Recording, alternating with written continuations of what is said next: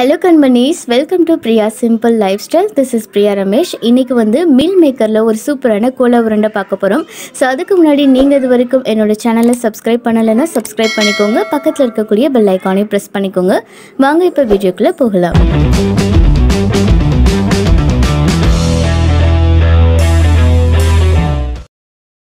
First இப்போ ஒரு பாத்திரத்தில் நல்லா சுடு தண்ணி வச்சுட்டு நம்ம வச்சுருக்கக்கூடிய மெயில் மேக்கரை அதில் போட்டுட்டு ஒரு பத்து நிமிஷம் நீங்கள் அடுப்பை ஆஃப் பண்ணிவிட்டு அப்படியே வச்சுடுங்க. அது குக் ஆகிடும் அது நல்லா ஆறுனதுக்கு அப்புறமா அதில் இருக்கக்கூடிய எல்லா தண்ணியுமே பிழிஞ்சிடுங்க. தண்ணி பிழியாமல் வச்சிங்கன்னா உங்களுக்கு வந்து உருண்டை பிடிக்கிறதுக்கு சரியாக வராது.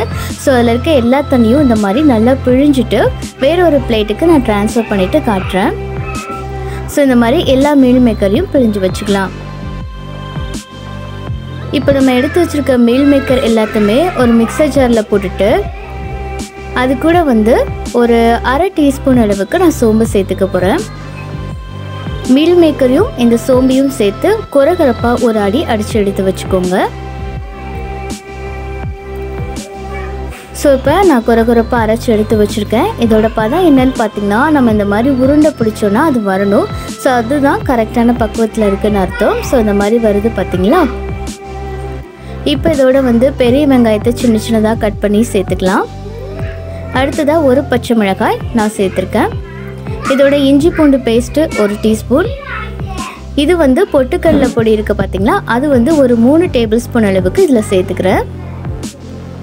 அடுத்ததாக கா டீஸ்பூன் அளவுக்கு மஞ்சள் தூள் ஒரு டீஸ்பூன் அளவுக்கு மிளகாய்த்தூள் ஒரு டீஸ்பூன் அளவுக்கு மிளகுத்தூள் ஒரு டீஸ்பூன் அளவுக்கு கரம் மசாலா தேவையான அளவுக்கு உப்பு. இது எல்லாத்தையும் போட்டு ஒன்றா நல்லா மிக்ஸ் பண்ணி விட்டுக்கோங்க.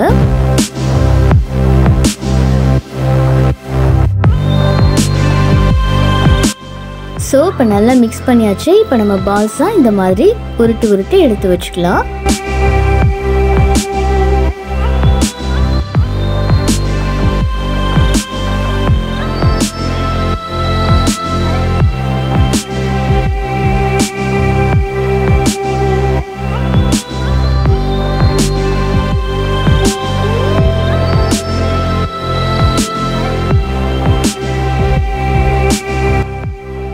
இப்போ ஆயில் ஹீட் ஆனதுக்கப்புறமா நம்ம எடுத்து வச்சுருக்க எல்லா பால்ஸையும் ஆயிலில் போட்டு நல்லா ஃப்ரை பண்ணி எடுத்துட்டோன்னா போதும்.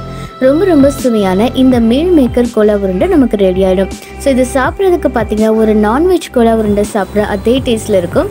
ஸோ வெஜ் அப்படின்னு சொன்னிங்கன்னா யாருமே நம்ப மாட்டாங்க. அவ்வளோ டேஸ்ட்டாக இருக்கும். ஸோ ஃபைனலி நம்ம கோலா உருண்டை ரெடி ஆகிடுச்சு